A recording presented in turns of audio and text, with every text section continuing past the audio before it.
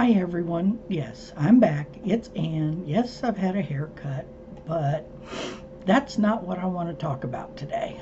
Um, I'm doing this as a voiceover because every time I tried to do it while trying to put the makeup on, I ended up, yeah, not being able to deal.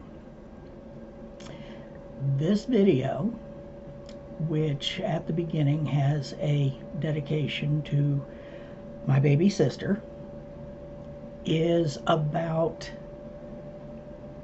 losing and dealing with a sibling when there's nothing you can do because even though you've reached out to them, they didn't reach back. My sister and I dealt with some really difficult situations in our family from the time we were very small. And for the most part, the family kind of just swept everything under the rug and ignored everything and didn't listen when we spoke. And we had to deal with the repercussions from those difficult situations as best we could without any real support. Well, it got down to a point where we finally were believed by the time we were adults because one of the other cousins jumped up and said, Oh, yes, he did because he did it to me too. It was one of our uncles. And at the time, we were also still dealing with the fact that our mother was an abuser And the rest of the family, again, basically just said, look, it's in the past now, get over it. Between the incidents and the continued abuse through young adulthood, we managed to survive. But where I started going to therapy, my sister resisted. I tried several times to convince her that she really needed to, to talk to somebody. And eventually, she did try to talk to somebody briefly. But my sister could not be talked out of being the one to attempt to continue to take care of our mother once my father had passed away.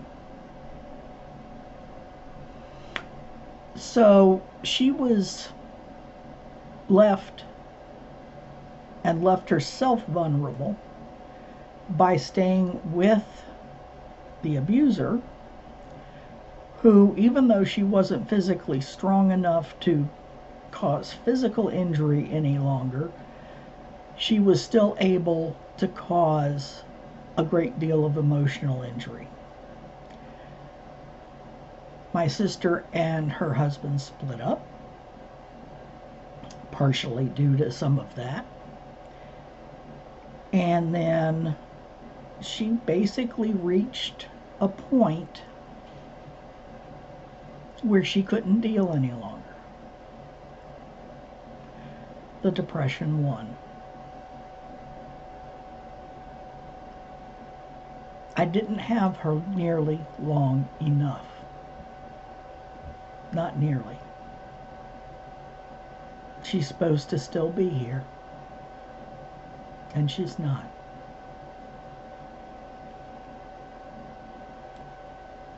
She left just before her birthday in 2002. It took me a long time to stop being angry with her for giving up because that's what I believed at the time that she had given up, that she could have, you know, held on. She could have said something more to me. It's like I lived in another state. She was eight hours away. I wasn't close enough. And she didn't trust anyone else enough to reach out.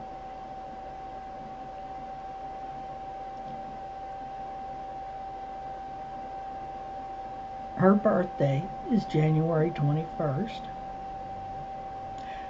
I'm filming this on January 21st.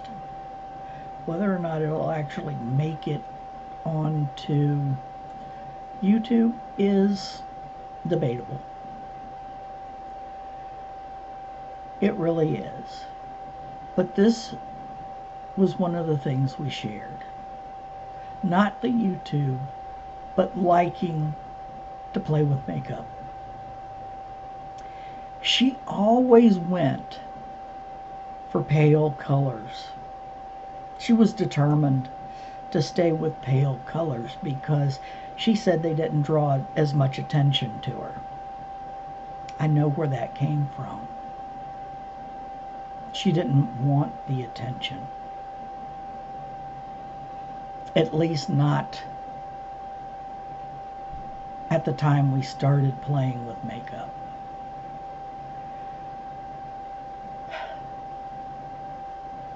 This is probably one of the hardest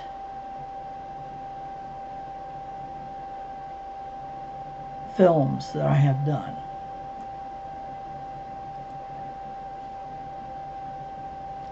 Yes, I'm sniffling through the whole thing. We all know that I have the sniffles most of the time anyway.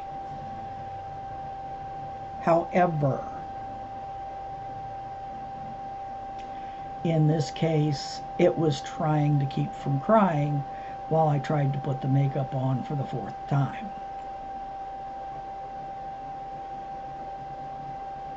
No, I'm not looking for outpourings of massive sympathy. I'm not looking for people to come rushing in and pat me on the back and tell me how pitiful it is. But I want people to understand that depression is a serious illness. It can be caused by any number of things. It can be caused by nothing more than your body not being balanced with the brain chemicals that you're supposed to have. It can be triggered. It can just be. If you know someone who has an issue with depression, reach out. They don't always reach out first. And understand that sometimes, no matter how often or how much you reach out, they don't always manage to win the battle. I have my own issues that come from that time period. I have my own issues that come from situations that happened with my first and second husbands.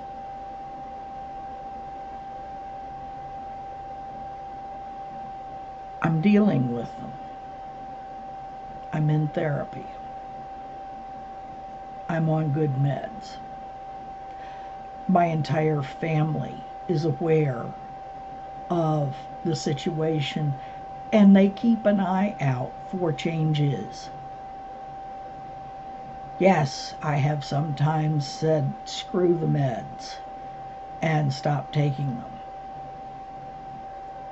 I have occasionally enjoyed the the hospitality of psychiatric inpatient at hospital because of a crisis. But I'm still fighting. I don't always do a good job of it. When it comes to this time of year, missing my sister, I don't always get a lot of things done that I would prefer to be doing. I'm having problem keeping up with my schoolwork a little bit this couple of weeks. And yeah, I haven't been filming that much. There are reasons. I didn't just get tired of it and walk away.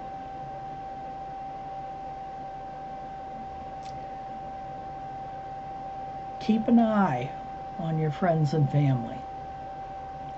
If you think they've got an issue that they need to talk about, or if you think they are in danger of injuring themselves, talk to them reach out to them. If necessary, reach out to a crisis center.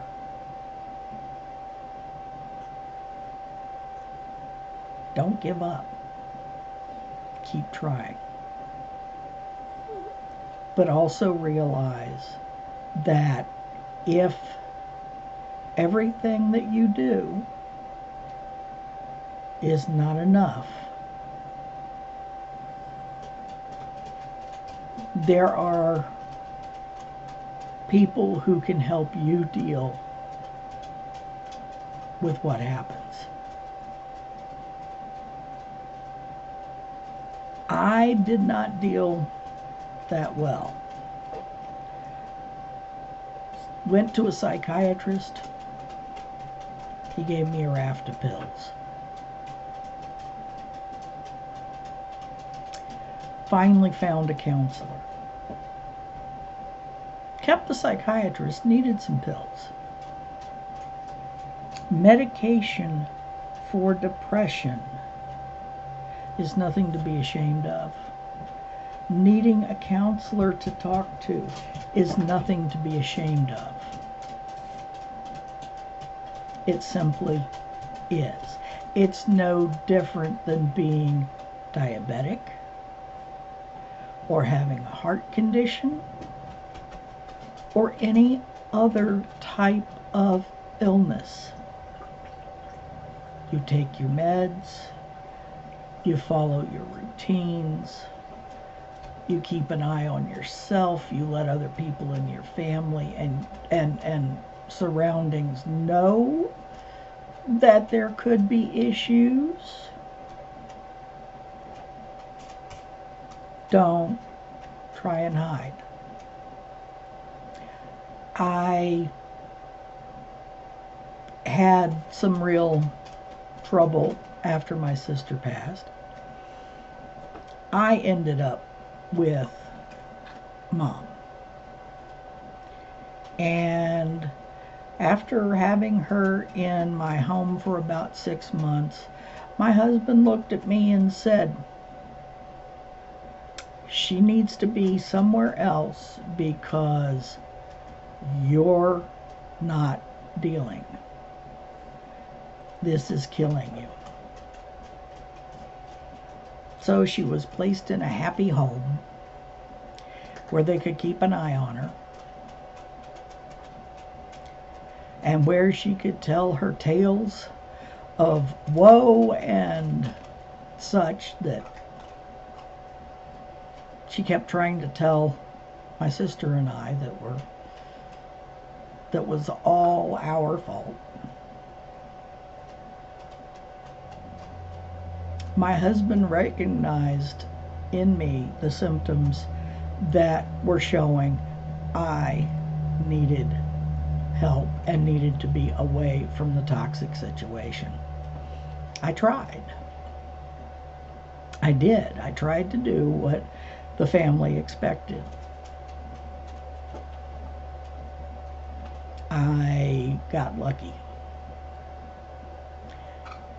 I didn't let continued abuse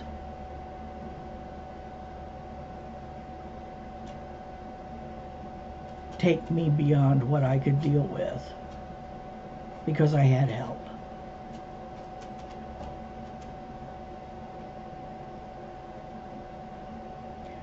My baby sister meant the world to me. She really did. We were close enough in age and size that for a long time people thought we were twins. And then my short little self stopped growing and she kept going.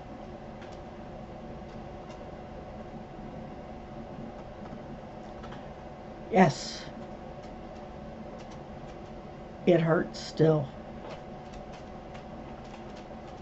I miss her every day. It's gotten a little easier to deal with. A little.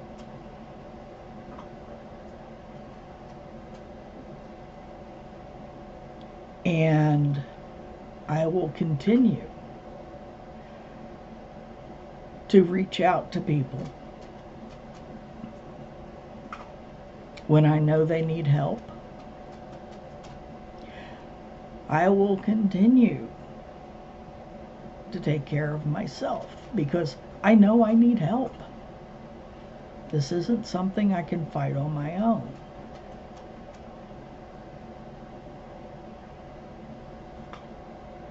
And I'm starting to repeat myself. So I'm just going to put some music on for the rest of this. At the very end of the video, there's the end piece that I've been using since the first of the year that shows a crisis hotline in case you know somebody who's in trouble or if you're in trouble. And it shows pretty colored beads. The necklace I'm wearing has some of the orange beads.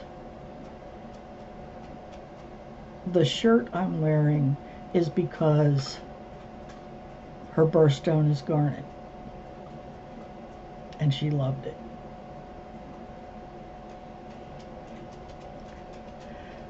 The colors on my eyes are just what I felt like today.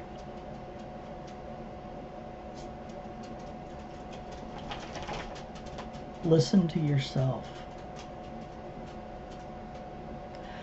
Listen to your friends and family when they reach out to try to help.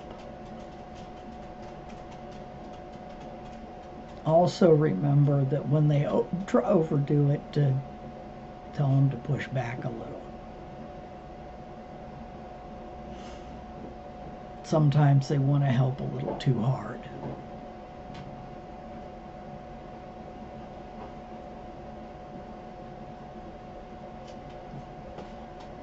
Take care of yourselves take care of each other. Don't be ashamed to reach out. It's not a shameful thing, no matter how many times somebody's great grandma says different.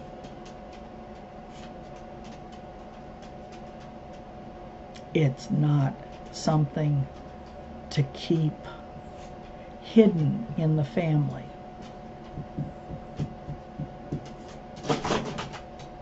It really isn't.